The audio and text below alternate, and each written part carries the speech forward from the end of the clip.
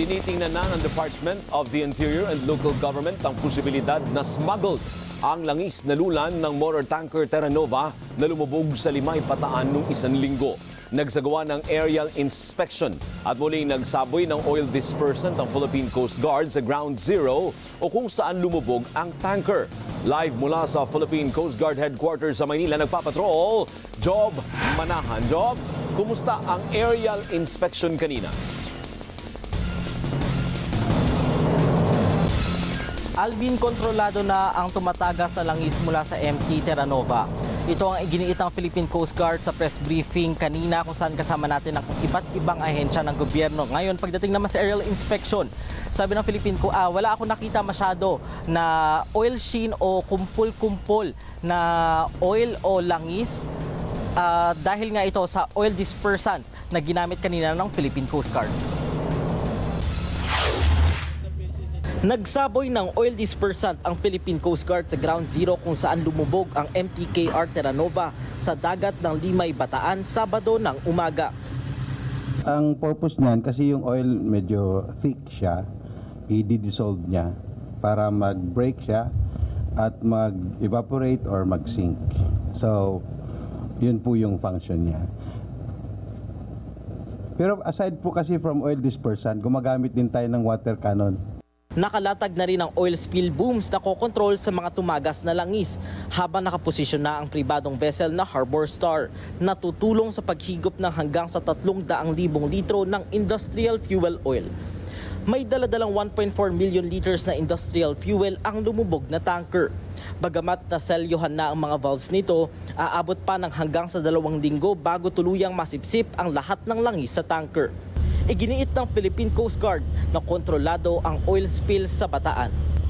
as what uh, others might have seen. Okay. Clear po yung Manila Bay, wala po kami nakitang uh, oil sheen in all coastal areas except doon sa ground zero na mayroong very very small packet of oil at very thin oil sheen contained in a, small, uh, oil spill book Inaabangan na lang ng Philippine Coast Guard na matapos na ang paggawa ng metal caps na sa selyo kapag isinagawa na ang paghigop ng langis.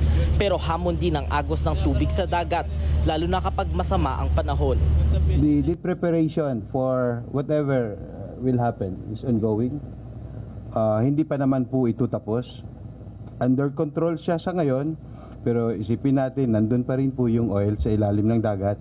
Kasabay nito, iimbestigahan ng Department of the Interior and Local Government ang may-ari ng tanker at ang posibilidad na smuggled fuel ang bitbit ng lumubog na tanker. maraming na perwisyo sa negosyo, maraming na perwisyo sa trabaho, mga mangingisda, mga fish pond operators. So, dapat may managot dito. Basta ako naniniwala lahat ng anggulo, check-in. Samantala naka-standby ang DSWD sa mga LGU na hihingi ng cash aid o ibang ayuda para sa mangingisda at iba pang apektado ang kabuhayan dahil sa oil spill. Namahagi naman ng tulong ang Department of Agriculture sa mga mahigit isang libo at anim na raang apektado na mangingisda sa Noveleta, Cavite.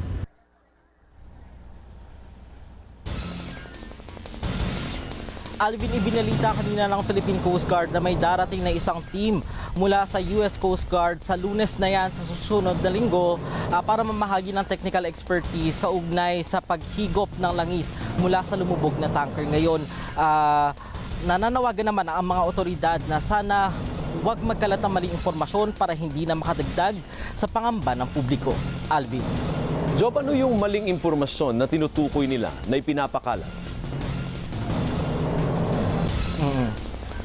Alvin, may iba kasing larawan na kumakalat ah, na nakarating na raw dun sa ibang mga lugar yung oil spill. Pati na rin ah, may iba ring impormasyon na unverified pa ngayon yung mga ah, sa isda na ah, balot ng oil. Yun yung mga tinutukoy ng ah, Philippine Coast Guard tsaka ng ibang ah, ahensya ng gobyerno kanina kasi hindi pa ma-verify kung ah, yung mga lugar nga na ito ay apektado na o itong mga isda na to ay apektado ng oil spill.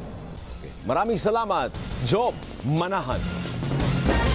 Tuloy-tuloy po ang ating pagpapatrol sa bayan mula lunes hanggang biyernes sa TV Patrol. Alas 6.30 ng gabi hanggang Sabado at Linggo sa TV Patrol Weekend. Sa bago nitong oras, alas 5.30 ng hapon.